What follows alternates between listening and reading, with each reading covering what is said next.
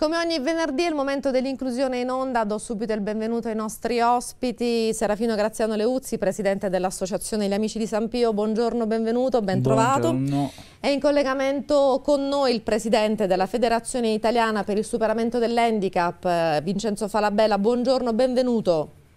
Grazie, buongiorno a lei. Allora, dal 14 al 16 ottobre ad Assisi si è tenuto il G7 Inclusione e eh, Disabilità. Lei, dottor Falabella, vi ha preso parte. Che cosa è emerso di interessante? Ma innanzitutto eh, abbiamo avuto la possibilità di aprire questo G7 e invitare gli stati parti, coloro i quali hanno preso parte a questo G7, a cambiare rotta e ad avere maggiore attenzione nei confronti dei cittadini e cittadine con disabilità in ogni parte del mondo. È stata sottoscritta la carta di Solfagnano che proprio ieri è stata consegnata al Santo Padre in Vaticano. Anche lì abbiamo chiesto che venga quanto prima uh, avviato un confronto costruttivo e propositivo affinché anche la Santa Sede possa ratificare quanto prima possibile la Convenzione dell'ONU sui diritti delle persone con disabilità.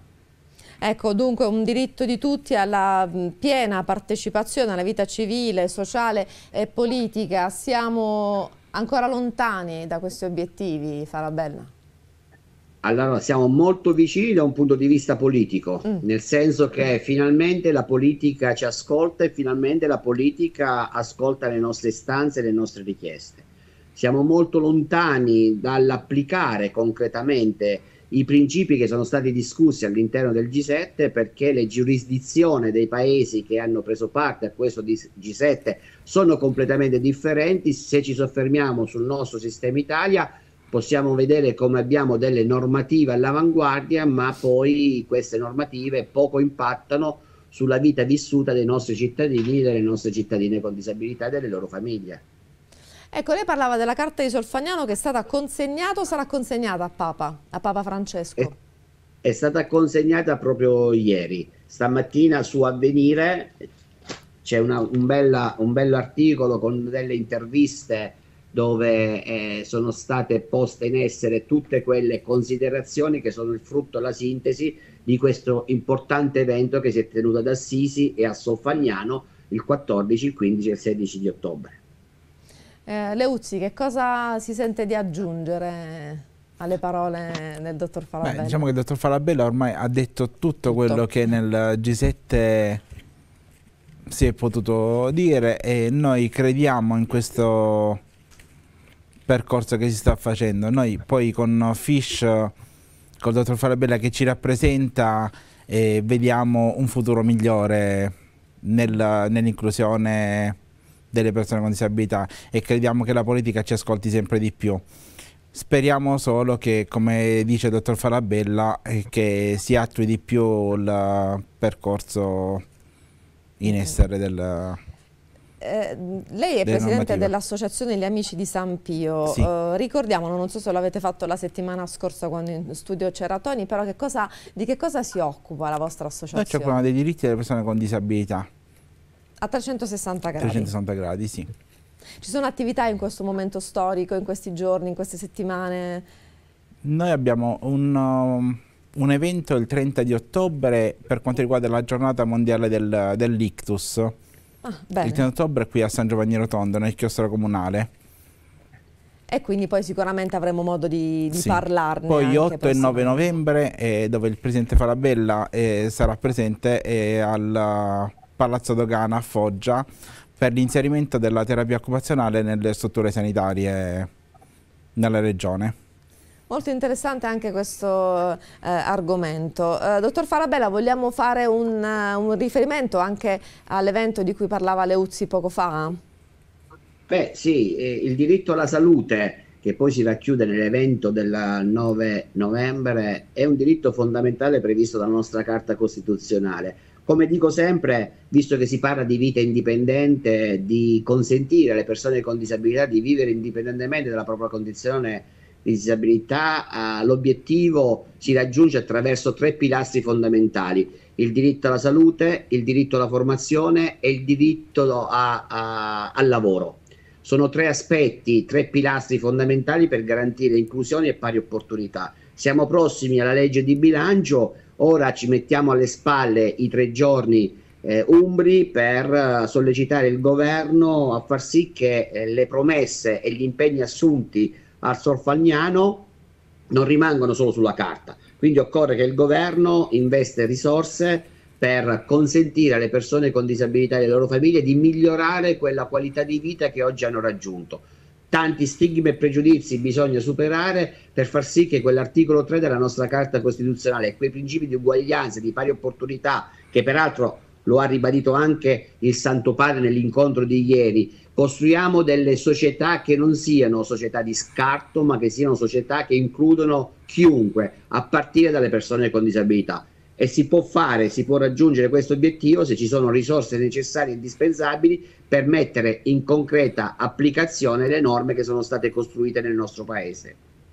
Salute, formazione e eh, lavoro. Eh, le lancio una provocazione, la lancio anche a, a, a Graziano Leuzzi in studio con noi questa mattina. Possiamo tornare sul sito del G7 Inclusione e Disabilità perché c'è una foto veramente ehm, bella, oserei dire iconica. C'è questo eh, ragazzo con sindrome di Down che fa il caffè. Eh, negli anni passati, eccola qui, molto bella, quindi che probabilmente fa il barista.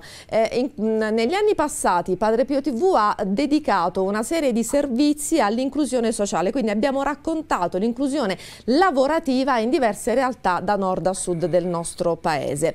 Quando vediamo un'immagine del genere, Farabella, diciamo ah che bello, sarebbe eh, come dire nel futuro immaginiamo bar, ristoranti in cui eh, possa esserci l'inclusione di persone con disabilità. Resta un sogno, resta un'utopia, in qualche paese avviene tutto questo, mm, eh, però siamo lontani da un'inclusione totale. Beh, oggi solo il 20% della popolazione italiana con uh, disabilità riesce ad accedere al mondo del lavoro, l'80% mm. non lavora, quindi sicuramente occorre cambiare politica uh, in seno al mercato del lavoro, occorre defiscalizzare il costo del lavoro, occorre mettere la persona giusta al posto giusto. La spettacolarizzazione di questa fotografia non deve rimanere tale, ma deve consentire al mondo, al nostro sistema, al sistema Italia, di poter costruire un'inclusione un lavorativa che sia realmente rispondente ai bisogni oggettivi e soggettivi dei nostri lavoratori e delle nostre lavoratrici con disabilità. È possibile? è possibile eh, anche perché uno degli otto punti della carta di Solfagnano che si è discussa al G7 vuole dire noi associazioni, non la nostra, proprio le associazioni di, delle tutela dei disabili come FISH sono proprio i punti che cercano di valorizzare per l'inclusione lavorativa. Ecco. Ci sono anche delle leggi, delle normative che tutelano le persone con disabilità all'inclusione lavorativa. Il problema è, come dice il dottor Falabella, cercare proprio di spingere questa normativa ad essere attuata e cercare di dare proprio del, degli aiuti anche alle aziende per poter assumere queste persone. E poi bisogna anche in qualche modo cercare no, di cambiare mentalità, un po' visione delle cose. Sì. Eh, cioè, dobbiamo cercare di dobbiamo, le aziende devono cercare di vedere questa persona non disabile, ma vederla da un altro punto di vista. Come un'opportunità anche. Anche come una risorsa, come perché una sono risorsa. delle persone con disabilità che sono delle risorse, non sono persone disabili. Esatto, delle risorse. Allora, Posso aggiungere sì, una prego, cosa su questo? Prego. Chiedo scusa, non voglio prevaricare eh, la sua regia e la sua conduzione, però occorre che il nostro sistema Italia modifichi l'attuale sistema di welfare. Mi spiego, oggi noi abbiamo un welfare di protezione e di assistenzialismo.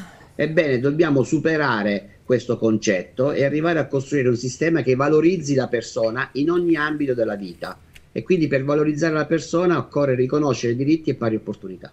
Eh, no, no, giustissimo quello che dice, quindi la valorizzazione non sempre l'assistenzialismo, questo è fondamentale. Su questo volevo aggiungere, la legge 68 del collocamento mirato, molte persone con disabilità si recano all'Inps per la legge 68, però poi rimane chiusa in un cassetto perché quando poi le persone con disabilità si recano per un posto di lavoro con la legge 68, poi l'azienda dice va benissimo, sì, legge 68 però non so dove poterti collocare. Mm -mm. Quindi le persone si sentono poi escluse, quindi parliamo di inclusione, ma in realtà poi c'è solo esclusione. C'è solo esclusione. Eh, bisogna davvero battersi per questo. C'è ancora da lavorare tanto. C'è ancora da lavorare tanto. Però grazie anche alla vostra associazione, grazie alla FISH, grazie alle persone ecco, che in qualche modo magari eh, imprenditori illuminati che possano realmente, come abbiamo detto, considerare le persone con disabilità una risorsa da valorizzare all'interno della propria azienda. Eh, grazie al Presidente nazionale della FISH, Vincenzo Falabella, per essere stato eh, con noi. Ricordiamo che lei è anche rappresentante del Consiglio nazionale del terzo settore presso il eh, CNEL, il Consiglio nazionale dell'economia e del lavoro. Grazie, grazie a Serafino Graziano Leuzzi, Presidente dell'Associazione Gli Amici di San Pio, per essere stati eh, con noi. L'inclusione in onda torna venerdì prossimo su Padre Pio TV. Grazie, buona giornata ai nostri ospiti, buon lavoro, grazie per quello che fate. E non so se devo dare la linea alla regia o se abbiamo, abbiamo pubblicità o se possiamo... Ok, sigla e poi andiamo in pubblicità.